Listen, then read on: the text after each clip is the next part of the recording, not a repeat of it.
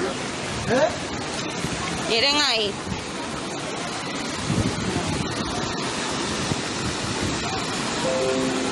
Se desbordó la caña. La tormenta, que ingresó al país la noche del sábado con vientos máximos de 85 kilómetros por hora, dejó daños con sus torrenciales aguaceros que obligaron a las autoridades a evacuar a por lo menos mil familias. Los mayores daños se registraron en el sector Los Ríos, en la capital dominicana. Ahí están las casas destruidas.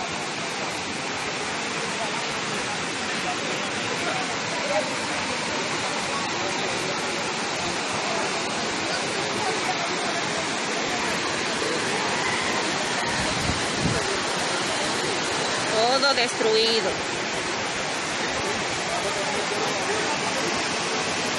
Miren ahí.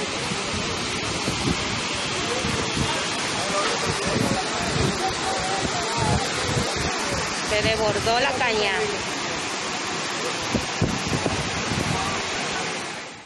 El presidente de la República, Luis Abinader, visitó el barrio La Yuca, en Los Ríos, para conocer los daños causados por la tormenta. Abinader prometió desarrollar un plan integral para sacar a las personas de zonas vulnerables de cuatro demarcaciones importantes del país, Santo Domingo, San Cristóbal, San Francisco de Macorís y La Vega. De una casa eh, en el kilómetro 14, otra por el derrumbe de un árbol en el kilómetro 22, estamos hablando de la autopista Duarte, y también la muerte de un cabo del ejército cuando se trataba de ser rescatado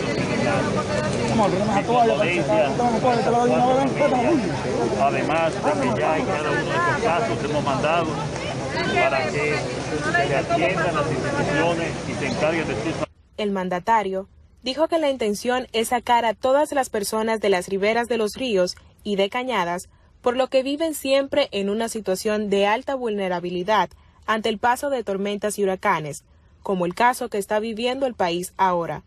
Luis Abinader dijo que el plan a desarrollar les tomará varios años, pero podrán sacar a las personas de las riberas de los ríos y de las cañadas, con lo que disminuirían a cero los factores de vulnerabilidad. Esas casas están en, que, que- que sufren este corte de energía eléctrica en la distribuidora de eléctrica. Hace algún tiempo le pedimos que a todas las áreas donde son- hay riesgo y vulnerabilidad al lado de ríos y cañadas, que estén atentas especialmente en el Bajo Yuna, especialmente en la zona norte general de, de la- del Yaque del Norte y también en la zona sur, específicamente cerca de la presa de Monte Grande, de la construcción de la presa de Monte Grande, que todavía hay unos detalles que tenemos. Presidente, ¿alguna, interve- alguna intervención especial con esta Entonces, zona? Estamos trabajando y que puede tener confianza todo el pueblo dominicano de que todas las instituciones del gobierno están movilizadas para darle servicio. Presidente, ¿alguna intervención especial en esta zona afectada de acá, de, de los ríos? Se la van a arreglar. Eh, eh, hay las viviendas que están afectadas, como las que están destruidas, que ya está haciendo un inventario. Eh, el COE, pues eh, tenemos un primer reporte y se le está pasando ya que es funcionario está trabajando en esto. Pero en este caso, presidente, que estas casas que se cayeron no Esto es se le va, para... se va, estas personas, las instituciones que tenemos, como están viviendo en áreas de riesgo, se van a trasladar y el gobierno le va a proveer una, un- otro lugar de traslado porque al final nosotros lo que tenemos que buscar es una salida integral de solución a todas las cañadas del Gran Santo Domingo. ¿Dónde, presidente, lo van a llevar? No, todavía tenemos que, dar, que, que buscar la salida a esto. Lo que usted puede estar seguro es que se le va a buscar una salida donde no tengan este riesgo. Presidente.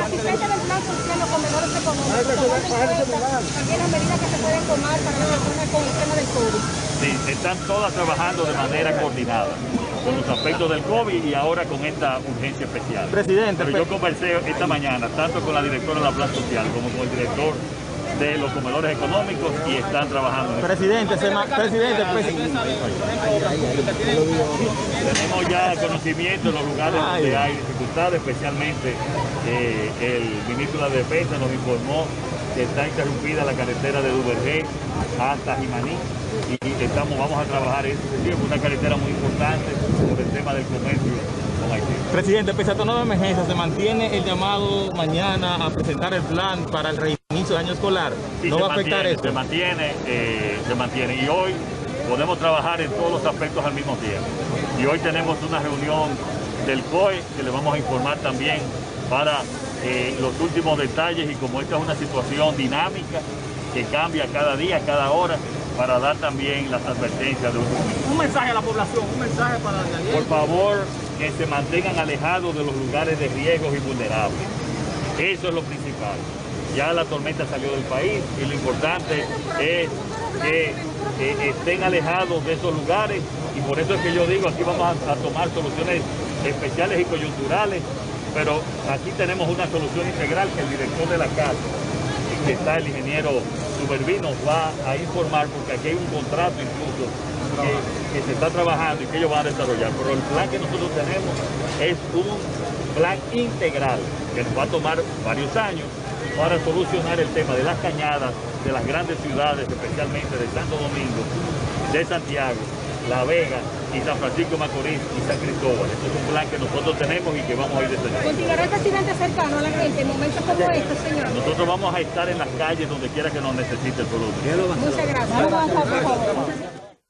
En los Alcarrizos estuvo Raquel Albaje, la primera dama del país, acompañando a una familia que perdió a dos de sus miembros por los embates de la tormenta. esta situación. Aquí venimos como una mano de verdad, de dominicanos, de ustedes, que Dios nos ha dado la oportunidad de poder ayudar. Aquí está el ministro de Obras Públicas, porque no podemos permitir. Y tenemos a Gloria Reyes, nuestra encargada del plan Solidaridad, para decirle que no, tú no vas a estar solo y que nosotros tenemos que evitar que ninguna vida se pierda por derrumbes, por, por eh, desbordamiento de cañada. Esto no lo hacemos por política, sino por humanidad. Porque yo sé lo que es perder a una gente. Y mira, tu mami está bien. Ella está bien. Y tu hermanito está bien. No es fácil, pero vamos a trabajar. No vamos a dejar a ningún dominicano ni dominicana. Dios nos dará la oportunidad, porque eso En la provincia Independencia, el tramo carretero que une a los municipios Jimaní y Duvergé quedó absolutamente incomunicado debido al desbordamiento de un arroyo que socavó el pavimento por las fuertes lluvias dejadas por la tormenta. Las fuertes torrenciales partieron en dos la carretera, lo que provocó la paralización de vehículos, mientras las autoridades de la provincia dispusieron de la acción para intentar restablecer el tránsito con el uso de equipamientos mecánicos y brigadas de trabajo. Por Jimaní y a través de esa carretera se transporta más del 50% de mercancías hacia Haití desde República Dominicana. En Pedernales, los aguaceros de la tormenta Laura se sintieron a partir de las 2 de la madrugada del domingo, lo que provocó que las principales avenidas se inundaran y posteriormente quedaran incomunicadas. En la provincia sureña, los fuertes vientos también causaron estragos, dejando a su paso árboles y postes del tendido eléctrico derribados. Mira el agua, mira. Esto es frente a la casa de Judy, en la segunda. Hay mucha agua. Así que miren, señores, cómo está esto. De repente está agua aquí. Vamos a, vamos a, pedirle a Dios que los que viven en sitios que están más vulnerables que esto puedan estar bien. Hay mucha agua. Estamos aquí en vivo frente a la casa de Judy. Vine para acá porque venía a socorrerla allá en la casa. Ya sacamos el agua y el techo se voló de la, casa, la ramastra, todo. Pero estamos bien, gracias a Dios, ya estamos activos para cualquier cosa. Así que ustedes saben, señores, eh, tranquilos y vamos a esperar que deje llover para que esta agua baje. Miren cómo está el patio de la casa de Judy, miren, está lleno de agua entero. En la segunda hay un río que hay, un río de la segunda. Así que ya ustedes saben. Toma, Judy. Algunos de los sectores que se reportan incomunicados son el Nuevo Amanecer, los Cayucos, los Altagracianos, Campo de Aviación, los Robles, entre otros. Decenas de personas tuvieron que abandonar sus hogares debido a la gran cantidad de agua que penetró en sus viviendas. Fueron evacuadas por el Centro de Operaciones de Emergencia, COE, y la Defensa Civil. Entre tanto, que en Bauruco el desbordamiento del río Manajagual dejó incomunicados los sectores que conforman el municipio de Galván, entre ellos El Placer, Placer Bonito, La Mamá, El Cerro, Muero Sentado y La Lajita. Mientras que en el mismo municipio, un arroyo bloqueó el tránsito hacia la comunidad de Placer Bonito, donde inundó varias viviendas de la zona. También se desbordó el río Panzo, el cual dificultó el tránsito en el trayecto Las Marías que enlaza a Galván y Neiva. El río Manguito salió de su caudal por los fuertes torrenciales de la tormenta tropical e impidió el tránsito en el trayecto que enlaza la comunidad de Estero de Neiva con el municipio de Villajaragua. Los vientos también causaron el colapso de varios árboles en las calles de estos municipios, obligando la acción de organismos de socorro y los ciudadanos en el despeje de las vías. El municipio Polo, en Barahona, fue el más afectado de esta provincia sureña por las lluvias ocasionadas por la tormenta, lo que causó el desbordamiento de tres ríos, el Bretón, la Colará y los Coloraos, ubicados en la comunidad Los Arroyos. La región Enriquillo también se mostró afectada por el colapso de algunos postes del tendido eléctrico, como también por los árboles que dejaron las carreteras incomunicadas, mientras que en Tamayo, Vicente Noble y Fondo Negro se reportaron inundaciones en la zona agrícola de esas localidades, donde las personas tuvieron que cargar con los productos agrícolas que fueron derribadas por las lluvias y los fuertes vientos registrados. Peravia. Las corrientes del río Baní dejaron algunas comunidades de la zona montañosa incomunicadas, entre ellas las Yayitas, la Gina, el Recodo. La Defensa Civil, junto a otros equipos de socorro, desde tempranas horas de la mañana auxilió en el barrio Guasuma de Baní a una familia que quedó atrapada en su vivienda por la caída de un árbol derribado por ráfagas de viento y las lluvias. El derribo de seis postes de tendido eléctrico generó apagones en el poblado de Las Salinas. Los municipios de Las Matanzas, Los Tumbaos, Las Tablas y Cañapistol también quedaron sin energía eléctrica desde que se registraron las primeras lluvias. San Cristóbal. A causa del desbordamiento del río Jaina, quedaron incomunicadas las comunidades de Lechería, Los Guineos, La Lomita, Hormigo, Reparadero, Mayor de Ley, El Maizal, La Guasuma y Mana de Jaina. Atomayor. Las autoridades de Atomayor recurrieron a evacuar decenas de familias a centros de refugios para evitar riesgos ante el posible paso de la tormenta Laura, ya que la misma fue azotada hace varias semanas por la tormenta tropical Isaías. Los barrios Gualey, Las Chinas, Los Cocos, La Javilla, Puerto Rico, Villacanto, Villa Ortega y La Franja, entre otros, fueron los primeros sectores intervenidos debido a la vulnerabilidad que presenta antes las posibles inundaciones.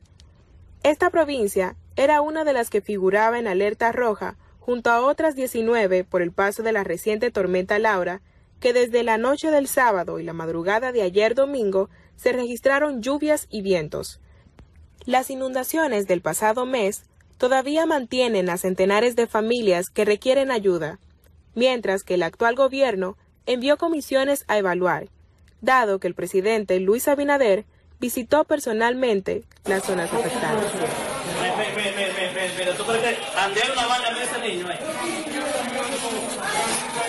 Dime, dime tú la pasa algo la marcha.